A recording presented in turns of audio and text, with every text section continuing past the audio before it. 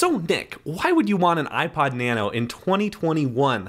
Makes no sense at all, right? You have a beautiful iPhone that plays all of the music that you could want, does videos, does podcasts, does everything, right? Well, true. Very fair fact. If you want a single device to do everything and you want to listen to stuff on Apple Music or Spotify or Pandora, iPhone is your way to go, and you're not going to be complaining about it. So if you don't like anything that I say in this video, just remember you can always use your iPhone, and I fully support that, and I don't hate you. What I appreciate about the iPod Nano is the ability to disconnect conveniently. The iPod Nano serves a similar purpose to the Apple Watch, is in a an ability to play music without the interruption of anything. Now, when I say anything, I mean phone calls, text messages, uh, social media posts. All of this is completely removed when you use an iPod Nano to enjoy music. Now, uh, the iPod Nano 7th generation is the only iPod that is actually compatible with, yes, AirPods. So you can use any generation AirPods with uh, the 7th generation iPod Nano and listen to your music wirelessly. And that's a pretty important feature because uh, I do also have a fifth generation iPod Nano. This thing is not very usable. I would not recommend using this for a music consumption device uh, in 2021 just because you have to use a wire or listen to it through the world's worst speaker, which is uh, which is a thing here. Um, so definitely it is nice to have uh, an iPod Nano that supports AirPods, and it kind of has extended the life and usability of the iPod Nano 7th Gen because you can use AirPods regular, AirPods Pro, AirPods Max, any kind of uh, Bluetooth device. While its pairing isn't quite as seamless as uh, your regular iPhone pairings, but you just have to go into settings and uh, click connect for the AirPods once, and then as long as you don't reconnect the AirPods to a different device, they're always going to remain connected to the iPod Nano. I appreciate this because I actually have a spare pair of AirPods. When I upgraded the AirPods Pro, I had my second gen AirPods that I don't actually use on a regular basis. So basically, this is now my portable combo whenever I want to go outside or on a walk or on a run or a jog or something and I don't want to be distracted by any kind of notifications. I can just put these two together, pop in an AirPod, and uh, enjoy beautiful music courtesy of an offline device. Now, a big caveat here is the iPod Nano, all of the iPods do not support Apple Music. So if you are an Apple Music subscriber and you have all of your music library on Apple Music, I'm sorry, this also is not for you. Enjoy your iPhone.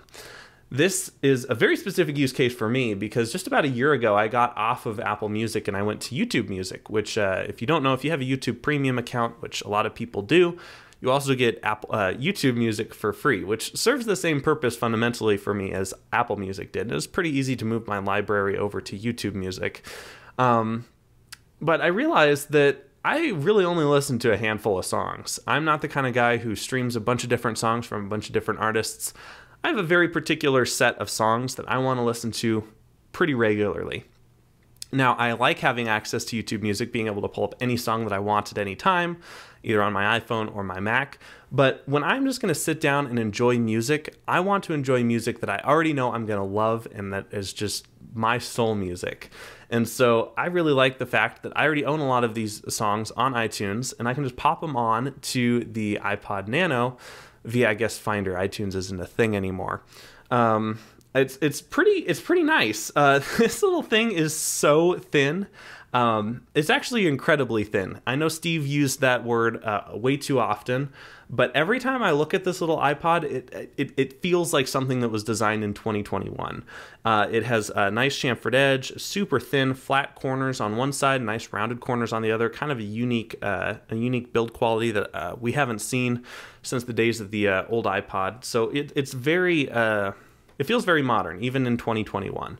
Uh, super thin, super sleek, has a power button, volume rocker with a play pause button in between, headphone jack. I don't really use that at all. Um, if you did want to listen to AM or FM radio, you can actually plug in a set of headphones, and the iPod will use the headphone wire as a long antenna, and you can actually listen to live regular radio just like you would in a car uh, right off an iPod. It also has a lightning port, which is kind of nice because. Uh, you know, I, I, would prefer if it had MagSafe, I guess, but this is 2012 we're talking about. So impressive that this is an iPod that supports Bluetooth, AirPods, Lightning, and is just super thin and super portable and works great with my existing iTunes library, which I already have a lot of songs that I do enjoy. Um, and it's just a nice little device to toss in my pocket and uh, go on a walk or uh, go somewhere where it's distraction free. So that's really why I love the seventh generation iPod Nano so much.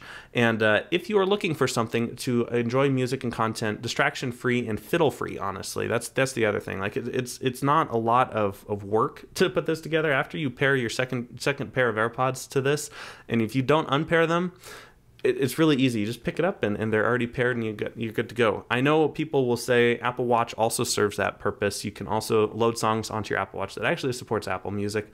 Download those offline and go somewhere without your phone I have actually never once been able to get my AirPods to pair to my Apple Watch. Never a once. There's always some, it's connecting, connecting, connecting, connecting, connecting, or it fails. And I just never had a good experience getting AirPods connected to Apple Watch. And I really appreciate that it's super easy to pair them just over Bluetooth to the old iPod. Anyway, this video is much too long for how uh, simple of a uh, topic this is. Thanks for watching. This is why the iPod Nano 7th generation is the best thing to listen to offline music in 2021. I've been Nic. Thanks for watching. Have a good one. God bless.